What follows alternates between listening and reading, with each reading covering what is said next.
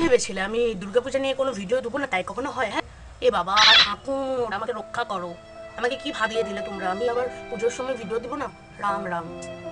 ঠাকুর, একদম মাফ করে দাও, আমি খুব বাজে জিনিস ভেবে নিয়েছি। ঠাকুর। মজা হবে পিপল মজা হবে। তো হাই পিপল কেমন আছো? আমি আবার চলে এসেছি। প্রথমেই বলে রাখি, আমার গলার অবস্থা খুব খারাপ, তো তোমরা প্লিজ ভয় পেয়ে যেও না। হোস্টেল থেকে আর এসে আমি আলুর থেকেও বড় আলু হয়ে গেছি। সেটা তুমি আমাদের ভিডিওতেই দেখতে পারবে। আমি যখন প্রথম ভিডিও দিয়েছিলাম তখন আমার গালগুলো এরকম ছিল। কিন্তু এখন আমার গালগুলো গোল জোল হয়ে গেছে। কিন্তু তাও আমি এখানে আছি তো প্রবলেমটা কোথায়? ঘরে আছি এত কিসের প্রবলেম পুজোতে আমরা খুব কম যে ভাবো যে আমরা বিশাল বিশাল সুখের দিন যায় সেটা কিন্তু নয়। আমরা মা বাবার গাল খুবই খেয়ে থাকি। তারই ছোটোখাটো নমুনা কিন্তু যদি এটা দুষ্টু মিষ্টি ভালোবাসা লজ্জা করে না ঘরে পুজো? আর তুই এখানে আমিষের নাম করছিস? লজ্জা লাগে না রে তোর?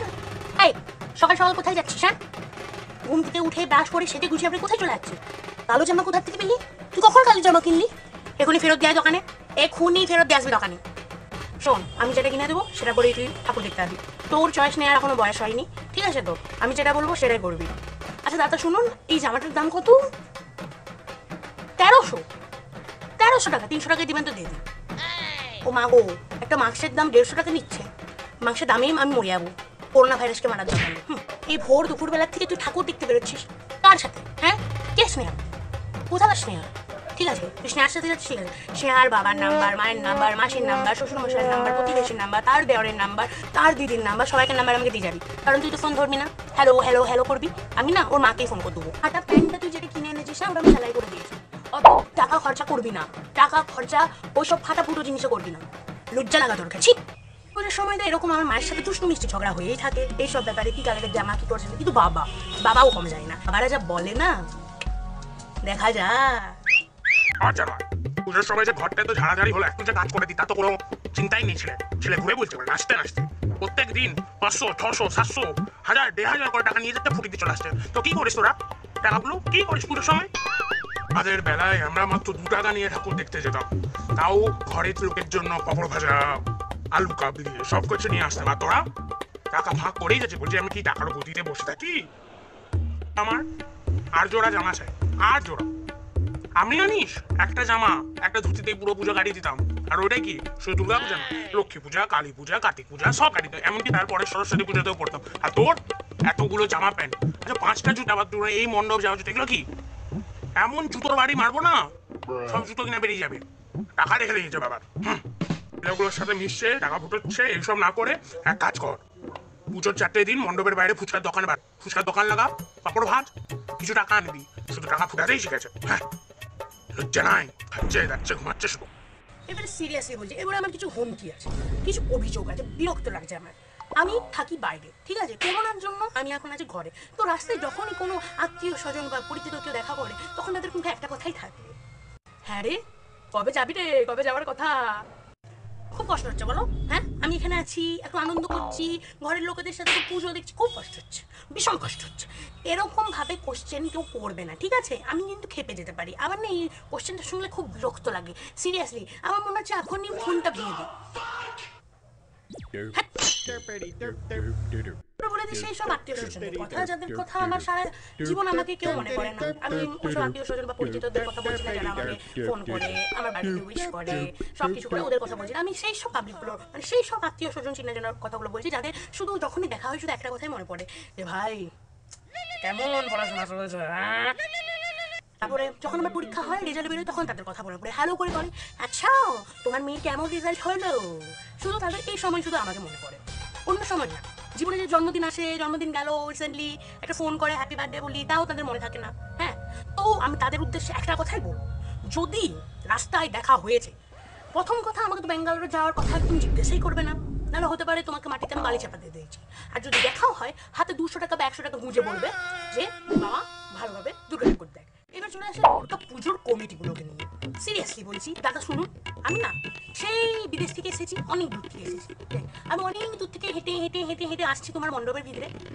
সঙ্গে সঙ্গে আপনারা স্টার্ট হয়ে যাবে। এখানে কেন দাঁড়িয়েছেন? ওখানে কেন দাঁড়িয়েছেন? এই, চলুন চলুন। বলছি, কেন? মানে কি কি জন্য সাজানো হয়েছে? দেখব তো। একটা ছবিতে তুলবো, এমনি করে তোলা হয়ে যায়। ঠাকুরকে আমার ফটোতে তুলে না চোখেও দর্শন করতে, ঠেলে ঠেলে ঠেলে করে নিয়ে চলে যান। মানে পুজোতে সব থেকে প্রয়োজনীয় জিনিস যেটা আমরা মণ্ডপে ঢুকেই খুঁজি। সেটা হচ্ছে পাখা। থাকে এটা এরকমও ঘুরে না, ওরকমও ঘুরে না। একটু যদি হাওয়ার বাতাস খেতে দাঁড়ালাম, এবার যদি তোমার সাথে কোনো একটি ছেলে থাকে মানে ভলেন্টিয়ারগুলো তো মানে সেই সব ভলেন্টিয়ারের ছেলে যাদেরকে সারা বছর কেউ পাত্তা দেয় না, শুধু পুজোর সময় ওদেরকে দারোয়ানগিরির জন্য রেখে দেওয়া হয়, সেই পাবলিকগুলো এত আসে যেন এখানে দাঁড়ানো চলবে না? একদম না। আবার তুমি এর সাথে যেমন মনে হচ্ছে, আমি সেটার সাথে প্রেম করছি। ভাই, ওটা আমার নিজের ভাই, দাদা, যে কেউ হতে পারে। তো ওরকম ভাবে রিয়াকশন দিবেন না। আমরা তো খারাপ কাজ করছি না, একটু হাওয়া খাচ্ছি, কিন্তু তাও চলবে না। হ্যাঁ ওকে সেই ন্যাকা মামুনিগুলোর কথা। মামুন আর মামুনি, ভুল হয়ে গেল আমার। বিশ্বাস করে, শাড়ি পরে হাঁটতে পারছিস না। তুই শাড়িটা পরেছিস কেন? যারা শাড়ি পরে, তাদেরকেও খিল্লি করে এই জন্য।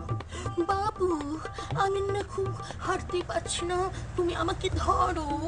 এই ন্যাকামিগুলো দেখলে না চাপড়ে দিতে মনে হয় মানে যারা শাড়ি পরে, তারা হয়তো শাড়ি পরে ছুটে যেয়ে তোমাকে চাপে দেবে। সব থেকে ইগনোর পার্সন হচ্ছে বাউন ঠাকুর আর তার মন্ত্র।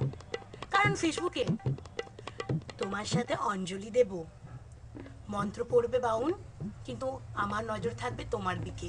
আমি তোমার দিকে ফুল ছুড়বো। বাউন be like I am joke to you থাপড়ে মেরে দিতে হ্যাঁ। এবারে সেই সব পাবলিকগুলোর কথা একটু বলেই দিই। না ফেসবুকে সকালবেলাতে স্ট্যাটাসে জয় দুর্গা ঠাকুর ধ্যান ঠাকুর তুই তো সবার মা। তারপরে দুর্গাপূজার বেলা হতে না হতে দুর্গাপূজার মণ্ডপের বাই- বাইরে রকগুলোতে বসে মেয়েদেরকে ঝাড়ি মারতে আরম্ভ করতে টোন কাটতে আরম্ভ। বলছে তোদের লজ্জা করে না? কিরণ দা বলেছিল, ও, কি লাগছে?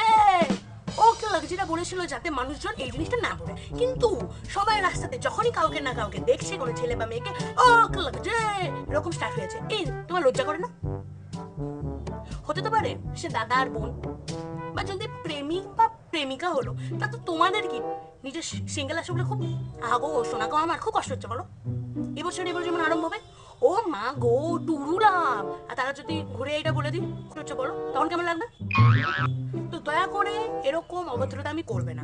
আগের বছরও কিরম একটু ভালো মেসেজ দিতে চেয়েছিল যে, দয়া করে কেউ ও লাগছে বলা বন্ধ করবে। কারণ এগুলো খুব খারাপ দেখায়। কিন্তু তোমরা তো মানুষ, আমরাও। হ্যাঁ? কিন্তু তোমাদের কাজ কি? লোককে টিস করতেই হবে, নাহলে তোমাদের পেটের ভাতটা হজমই হবে না। ঠাকুর পাপ দিয়ে দিবে। হ্যাঁ? একটু ভালোভাবে দুর্গা পুজোটা কাটবে, কারণ একটা কথা মনে রাখবে, যখন আমরা কাউকে ওরকম ভাবে জাজ করি বা ওরকম ভাবে বলি না, তাদের খুব কষ্ট হয়। হুম? তুমি বলে রাখি, হয়তো আমি হাসাতে পারছি না তোমাদের, কিন্তু আমার কিচ্ছু করার নেই।